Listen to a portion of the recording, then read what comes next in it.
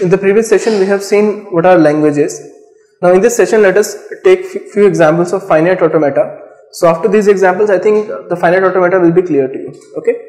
So let us say uh, we have the language L1 which is saying set of all strings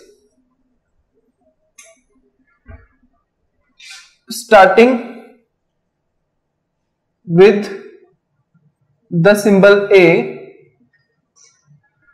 over the alphabet summation is equal to A comma B. Assume this is the language. Okay. Now in this language what are the strings here? Strings will be A, AA, AB, ABA, AAA and so on. That means the initial alphabet should be A. It does not matter what is the alphabet or what is the string which you are getting after this initial single A. Okay. So initially you should get an A. Fine. Now for this we have to draw a finite automata. So if you want to draw a finite automata, first of all you should know what are the basic symbols or what are the basic elements of a finite automata. Okay. So in this diagram we are going to use something called as state. A state will be drawn something like this we will be using some, something called as final state. A final state will look something like this. We will be using something called as initial state. The initial state will look something like this. And then we will be using something called as transition which will look something like this. Okay. So these are the basic elements of this finite automata diagram. Okay. Now you should know what is the basic structure of a finite automata. So in this finite automata what we use is there is a tape like this. This is called as a tape right there will be something called as read write head so this is read write head this is the tape then we'll be using something called as finite control. And we are also going to have a finite memory. So we'll be having a finite memory. And this finite control can read or write something onto this memory. Fine? Now you should know why we are drawing this finite automata a finite automata is basically representing your computer machine. These, all these subject, all these machines which you are going to study in this subject, they all are called as abstract machines.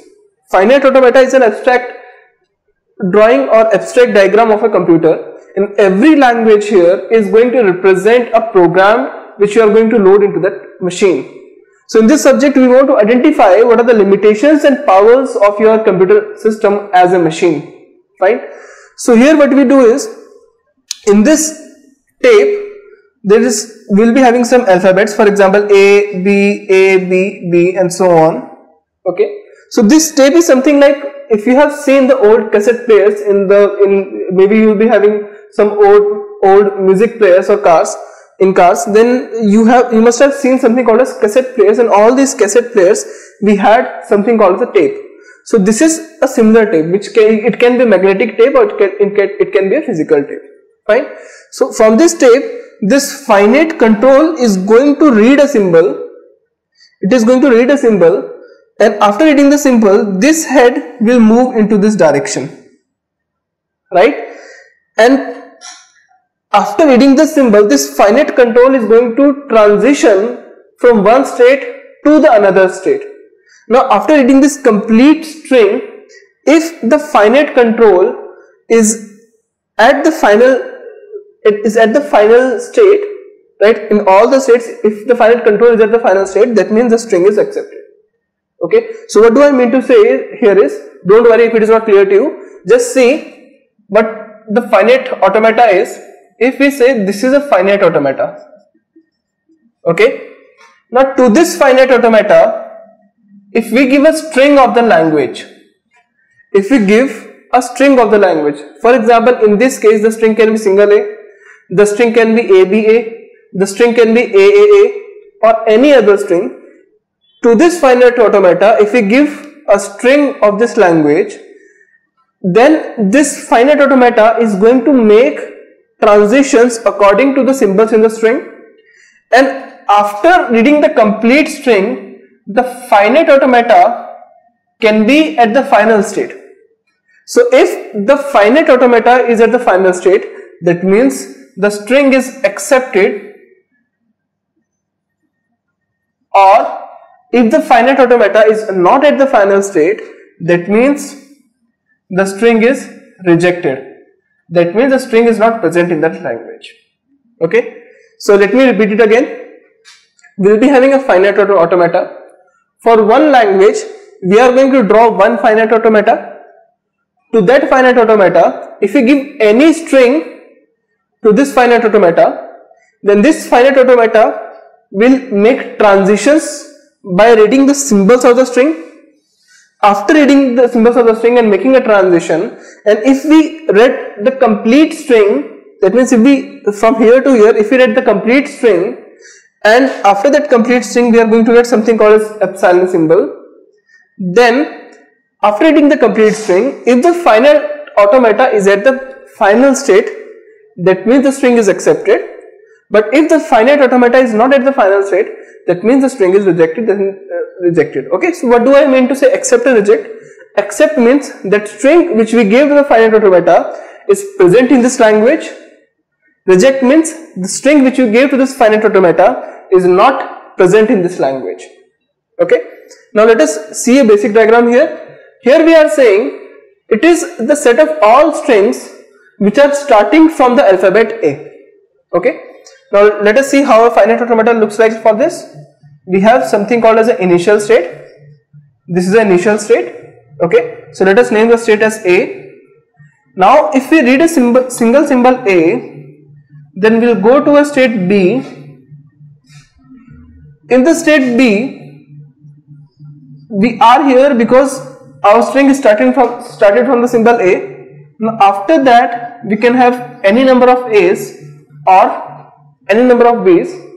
But initially, if we got a B, then we are going to go to state C. After this, we can have any number of A's or any number of B's. Okay. Now what is this diagram? Okay let us see what, what I have done here. Let us suppose we are giving the string A, B, A to this finite automata. Okay, so that means on the input tape, we have loaded the string A, B, A, and after that we will be having an epsilon symbol. Fine. So this finite control is initially reading the symbol A. Okay, for this language, we want to check whether this string is present in this language or not. So initially the finite control is reading the symbol A. So when in the initial state we are at this state, state A. After reading the symbol A, from state A, we will go to the state B. Okay. Now we are reading the second symbol. In state B, after reading the B, we are again going to the state B. Okay. Then we'll read the third symbol where the state B, after reading the symbol A, we are again at the state B. Now we have completely read the string. Now after reading the complete string, if we are at the final state, that means the string is accepted. It means that this string is present in this language. Now after reading this complete string, yes, we are at the state B. Therefore, this complete string is accepted here. Okay. Now let me take one more example. Let us say we have some string which is not present in this language okay now let us say we have the string which is b a a let us suppose we want to see if this string is present in this language or not. Okay? So initially what we are going to do is initially the finite control is reading the string b. So we are at state a. On state a initially if we read the string b then we'll go to the state c. Yes?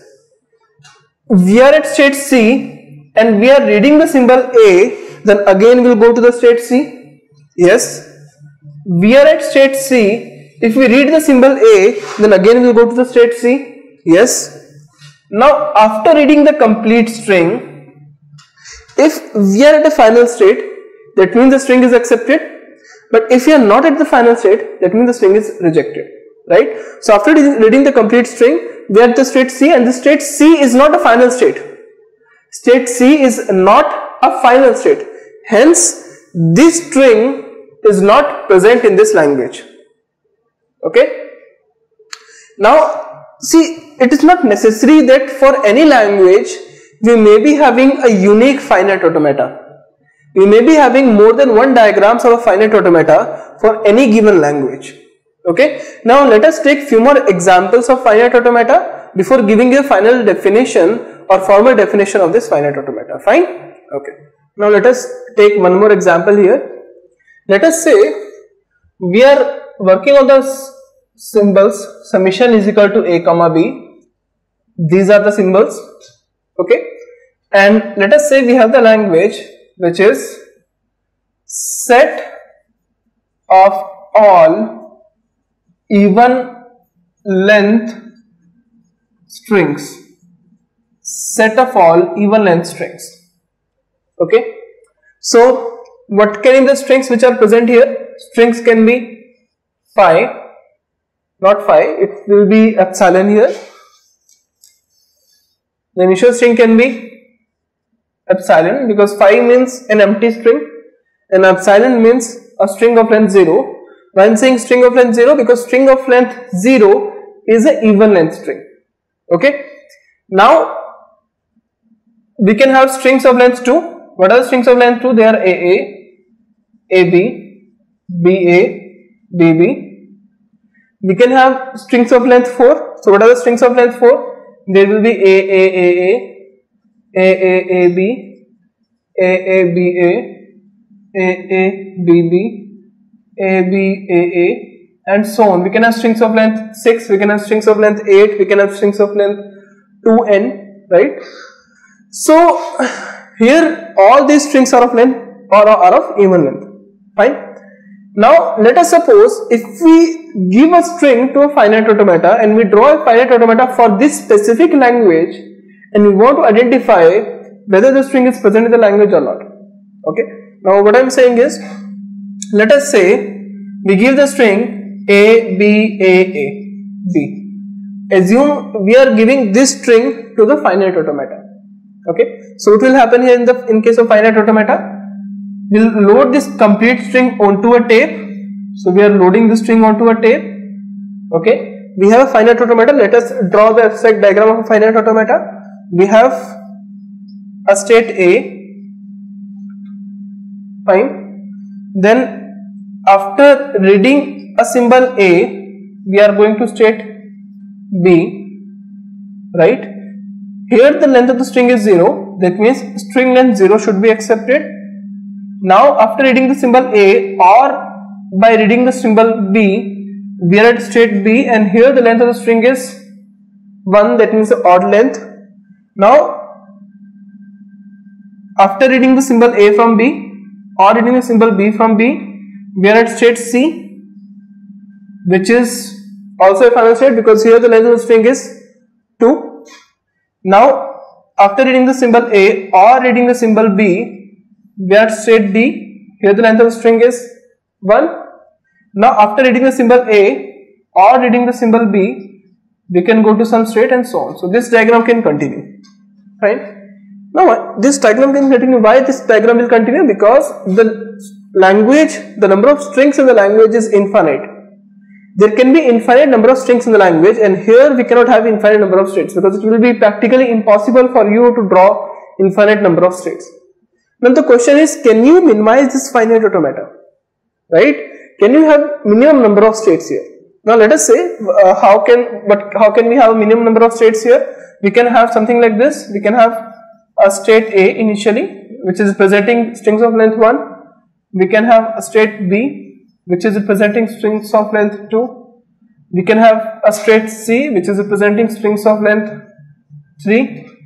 Then again, we can have strings of length 4, uh, this is 0 1 2 3 4 5 6 and so on right?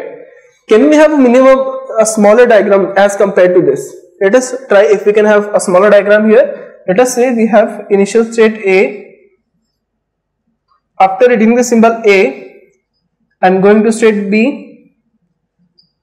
Fine.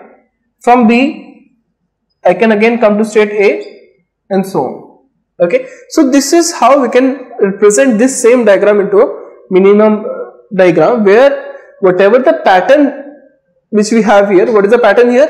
Here this complete pattern is repeating every time. This pair here is here is this pair. Here again we have this pair. Again we will be having this pair. Again we will be having this pair. So whatever the pattern we have we are repeating that pattern into a loop. Okay so don't worry if you don't don't understand this. Just uh, follow with me. After the end of the complete session you will understand what i am saying practically. Okay? So what i am saying is now let us suppose if you want to see whether this string is present into this language or not. Okay? Don't worry if you cannot draw this. So we'll be having more than 20 or 30 examples here. After all these examples you can easily draw any finite automata. Fine? So assume we have this string and want to know whether this string is present in this language or not. Now, if you want to know whether this string is present in this language or not, we will give this string to this finite automata. This finite automata is representing this language. Now, if after reading the complete string, we are at the final state, that means the string is accepted. Okay. So, let us say initially we are reading the symbol A. Now, you are reading the symbol A okay so let me just introduce one more thing here. We are at state a. We are reading the symbol a. After reading the symbol a we are making a transition. That means from a we are going to state b. This is called as a delta function which is the transition function. That means we, it is saying that if we are at any state if we read a symbol then after reading the symbol, to what state we are making a transition or to which state we are going, right? So from the state A, after reading the symbol A, we are going to go to the state B, fine? Now we are reading the second symbol. Now we are at state B here. Now if we are at state B, if we read a symbol B, that means if we are at state B, if we read the symbol B, then from B I am going to the state A. Therefore, we are making a transition to state A. Okay. Now let us read the next symbol. Now we are having the symbol A. So after reading the symbol A, we are at presently at state A. So we will make a transition to the state B. That means we are at state A. After reading the symbol A, we will make a transition to state B. Now we are reading the symbol small a again. We are at state B presently. Now, if we read a symbol small a, we are at state B presently. If we read a symbol small a, then we will make a transition to state A. Therefore, we will again go to state A. Okay. Now we are at state A and we are reading the symbol B. That means we are at state A and we are reading the symbol B we are at state A, we are reading the symbol B, then we will go to the state B. Okay. And now this state B, after going to the state B, we'll have, we read the complete string. After reading the complete string, so whatever state, whatever the state which we are at, at which we are, now if this state is a final state, that means the string is accepted. But you can see B is not a final state. Because B is not a final state, that means the string is not accepted and this string is not present in this language. Right? Now, if I say the string is accepted, that means the string is present in the language. If I say the string is not accepted, that means the string is not present in the language. Okay? So that means after reading this, uh, uh, by, by, reading the string, the string is not uh, accepted or it is rejected. Fine? So, now I think you have an idea what I am saying here. Now let me give you a formal definition of finite automata.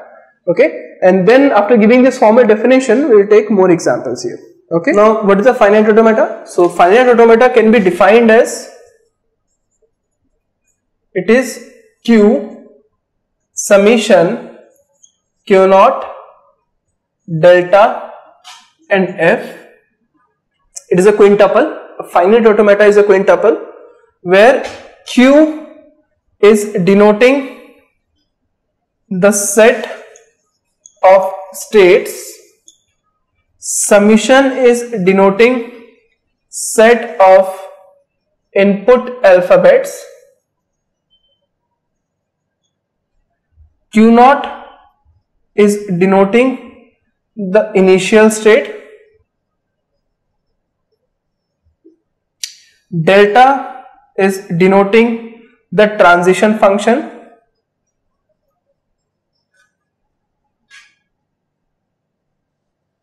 and f is denoting set of final states okay here Q is a non-empty set of states. Here I can uh, say it is a non-empty set of states. That means at, at least we should have one state.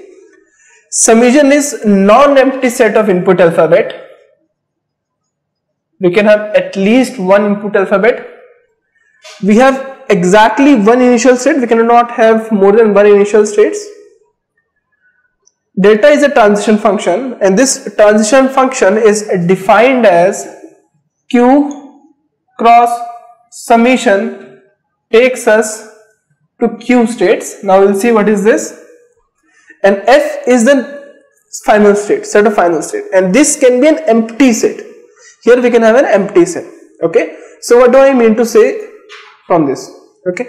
Now let us explore it with a small diagram. In the previous example, we have seen a finite automata for a language where the length of strings will be exact, will be even. Okay, so that means for even length strings, we had this finite automata, right? We have already done this. Fine. Now for this finite automata, let us just give this formal definition. So we have this finite automata FA is Q. Q means set of states.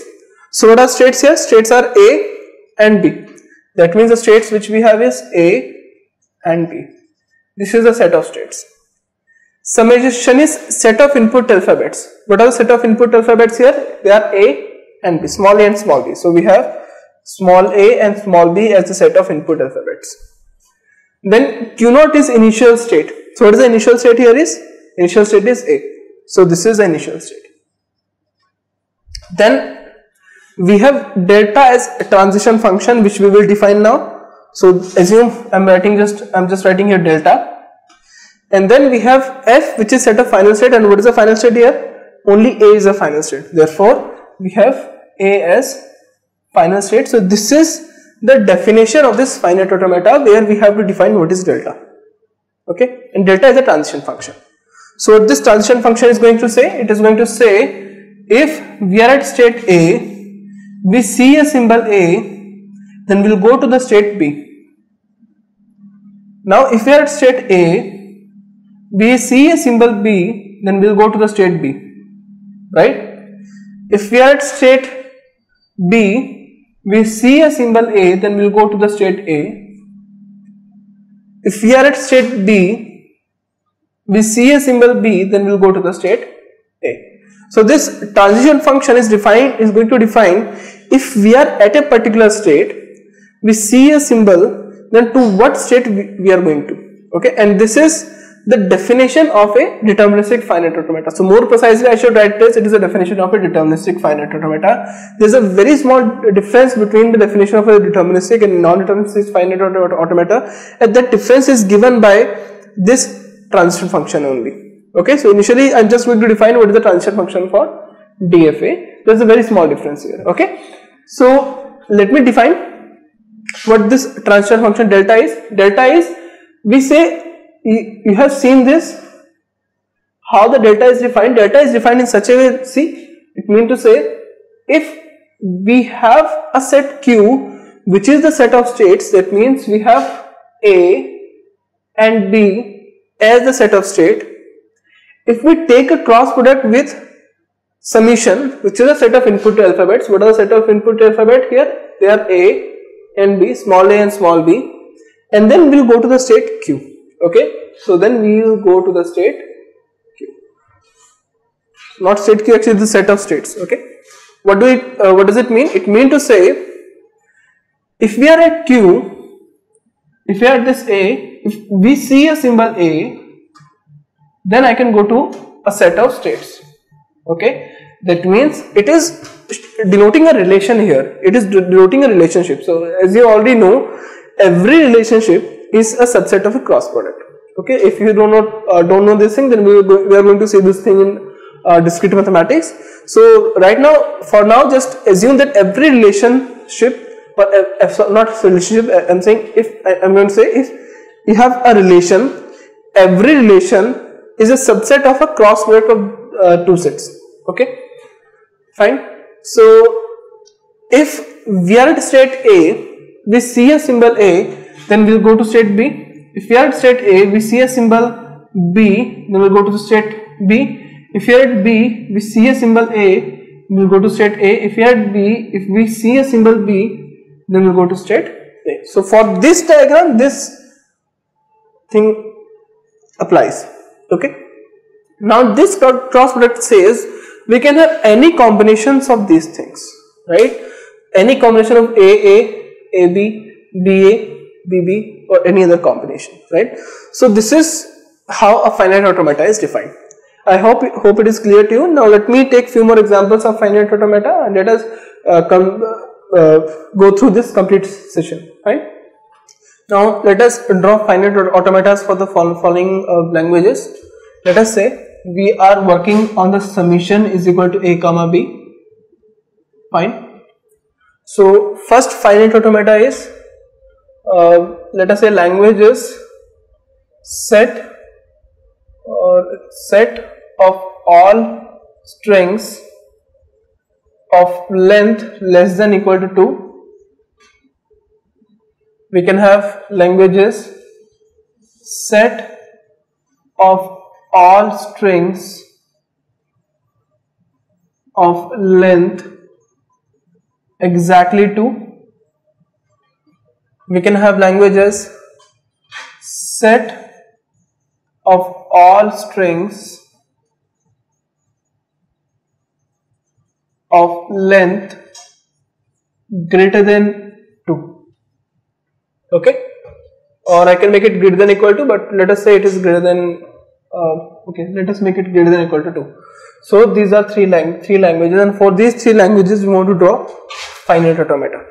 Okay now what is the first language? Set of all strings of length less than equal to 2. So what are the strings which will be present in this language? Strings will be epsilon, we can have single a, we can have single b, we can have AA, AB, BA, BB, only this thing. We can see why because this is uh, length 0, length 0 is less than equal to 2, this is length 1 length 1 is less than equal to 2 this is length 2 length 2 is less than equal to 2 okay? Now what are the strings which will be present in this case? Strings will be aa ab ba bb and what are the strings which will be present in this case? Strings will be aa ab ba bb aaa aab aba and so on fine. Now for the first language let us say we have to accept epsilon strings of length 0 we have to accept strings of length 1 we have to accept strings of length 2 okay? So let us draw a finite automata here. Strings of length 0 that means initial state is a final state then only we can accept strings of length 0 okay if we have single A or we have single B, then we can go to state B which is also a final state.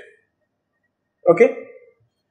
If we get single A or single B, then we'll go to state C which is also a final state. Right.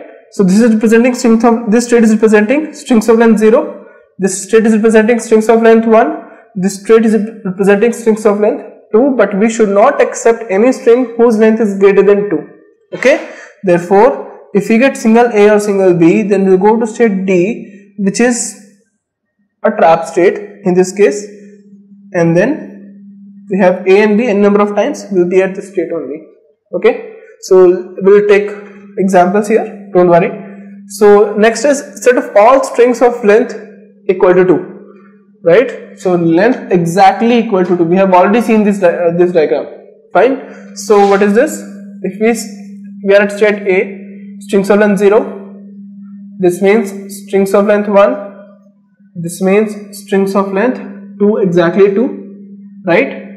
And this means strings of length more than 2 we should not accept anything after this. Fine? Now next is set of all strings of length greater than equal to 2 fine? So this is the state a. Strings of length 1 strings of length 2 right? And we should accept every strings whose length is greater than equal to 2 okay? Now we have these three finite automatas take a look at this first first one. If you do not understand what I have done here see if we get epsilon we are at state A so we'll remain at state A therefore the string will be accepted.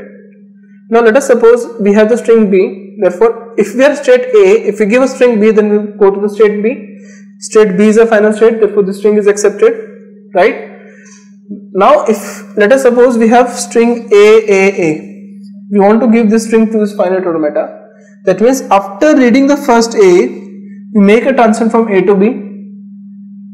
After reading the second A, we make a transition from B to C. After reading the third A, we make a transition from C to D. So after reading the complete state, are we at final state? No, we are not at final state, therefore the string is not accepted. Fine.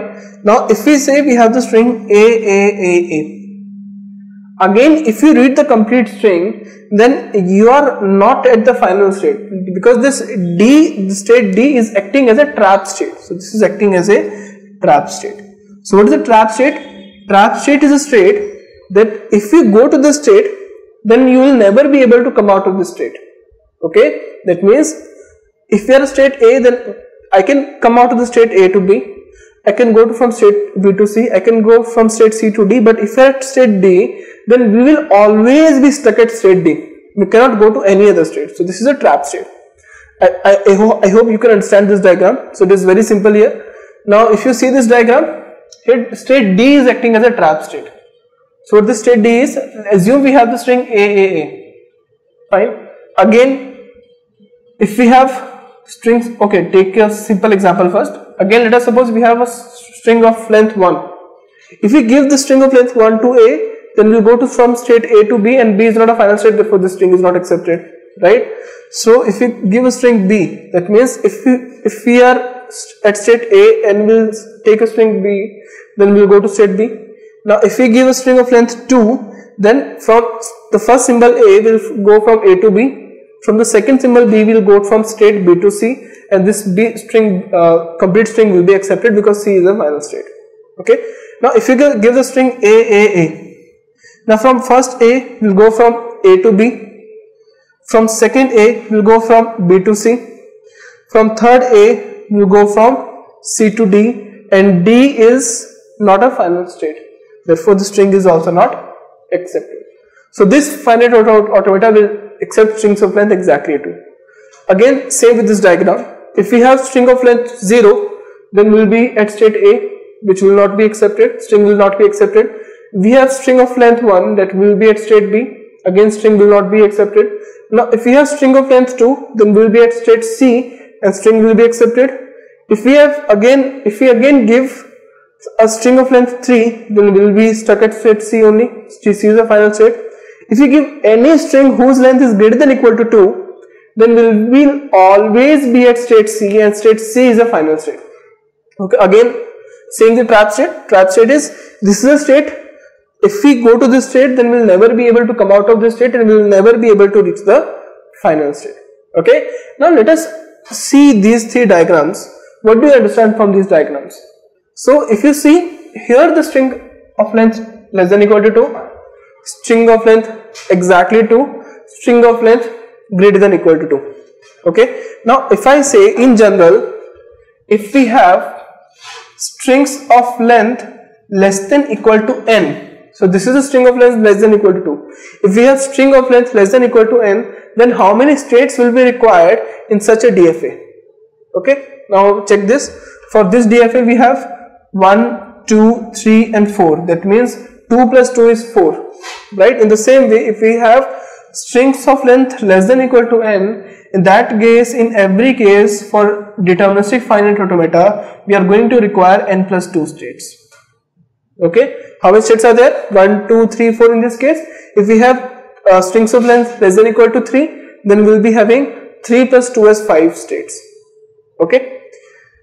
Now if I say the length of the string is only less than n but not greater than or but not equal to n. So here if I just remove this symbol then how many states will be required? So we will see this again. Now if I have the string the length of the string is less than 2 but not equal to 2 in that case what will be the finite automata finite automata will look something like this initial state a if we read a single a or b then we'll go to state b if we read a single a or b then we'll go to state c and this state b and state a will be final state. And after this nothing will be a final state. Okay? So here if the length is less than 2 the number of states are 3 if the length is less than equal to 2, then the number of states are 4 because here this state will also be final state but this state will both the states will merge in this case. That means in that case you have you will be having n plus 1 states.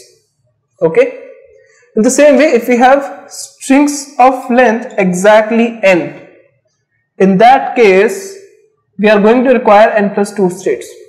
Why? Strings of length 0 strings of length 1 strings of length 2 2 again one trap state.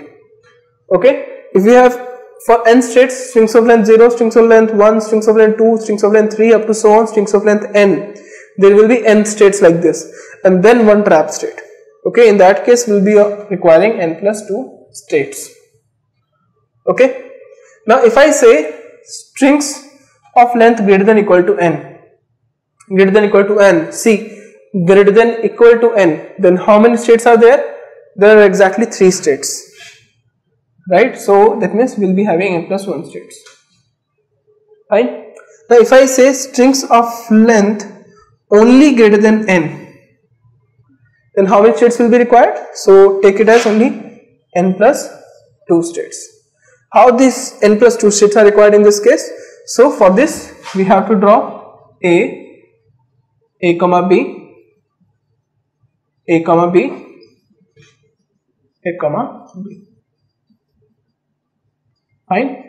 So roughly for this diagram you can say it is strings of length 0 strings of length 1 strings of length 2 and this is strings of length 3 right? So any string of length 3 plus 1 or 3 or greater than 3 is accepted here. Again here if you have strings of length greater than n that means strings of length 0 to n 0 to n and then one extra state. So it will be having n plus 2 states. Right? So in general this formula is applicable. Right? Now let us take more examples here